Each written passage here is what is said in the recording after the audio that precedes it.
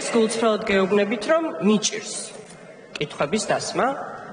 ნუ გიჭირს ქალბატონი და მიჭირს კი ხამამად დასვით ხამამად დასვით ხამამად სვავ. კი ხამამად შეგვიძლია რომ არ მინდოდეს არ დავსვამდი და ამიტომ ტონალობას ნუ განმისაზღვრავთ ქალბატონ ხატია მაგრამ ნამდვილად მიჭირს ამ კითხვის დასმა ასე რომ მადროვეთ დასვით თინა ბოკუჩავა მხატია დეკანოიძე ქართულ ოცნებასთან გარიგებაში პირდაპირ პარლამენტის ხდომათა დარბაზში დაადანაშაულა. ერთ დროს ერთი გუნდის ორი ლიდერის პოლიტიკური კინკლაობა დღეს სესიაზე პოლიტიკურ დაპირისპირებაში გადაიზარდა. კონფლიქტი ფრაქცია ნაციონალური მოძრაობის ყოფილ დამოქმედ თავმჯდომარეებს შორის პოლიტიკური ჯგუფების შექმნის საკითხს მოყვა.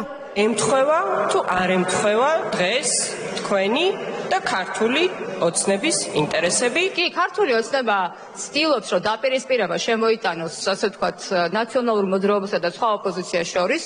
მას ეს გამოუვიდა. ხომ არ განიხილავდით თქვენ როგორც ინიციატორი ამ კანონპროექტის გაწევას. არ ვაპირებ ამ კანონპროექტის უკან გაწევას. ნაციონალური მოძრაობა ერთის მხრივ დეკანოიძე გოცირიძეს ქართულ ოცნებასთან გარიგებაში ადანაშაულებს, მეორეს მხრივ კი არ გამორიცხავს, რომ ეს ცვლილებები მათ თავადვე გამოადგეთ.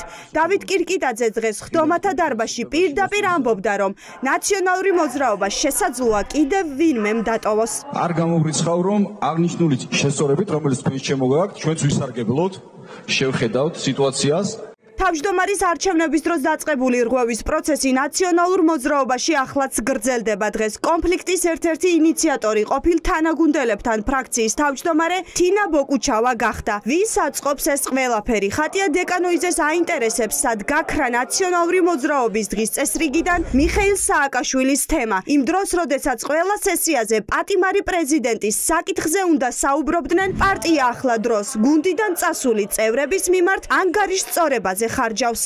პარტიას, რომელსაც ლიდერიც არის ციხეში ძალიან ძიმე ჯანმრთელობის მდგომარეობის გამო, ამ პარტიის მთავარი ბრძოლის ობიექტი და ფრაქციის სამწუხარო ჩემდა გადაიქცა ბატონი რომა გოცირიძის და ხალხია დეკანოიძის პოლიტიკური ჯგუფი. ამ დაპირისპირების შემდეგ სხდომათა დარბაზიდან გამოსულმა დეკანოიძემ დაანონსა, რომ პარტიის შექმნას აპირებს. დეკანოიძე არა კონკრეტებს, ვისთან შექმნის ახალ პარტიას. კონკრეტულად სხვადასხვა პარტიებთან თანამშრომლობით, მიმართულებით ახალი პარტიის შექმნით, რა თქმა უნდა, ჩვენ სხვადასხვა და მე პირადად სხვადასხვა გეგმებს განვიხილა. ხატია დეკანოიძის განაცხადი პარტიის შექმნის შესახებ არ უკვირთ ყველაზე დიდ ოპოზიციურ პარტიაში, თუმცა დატოვებს თუ არა კიდევ ვინმე ამ პარტიას ეს ჯერჯერობით უცნობია.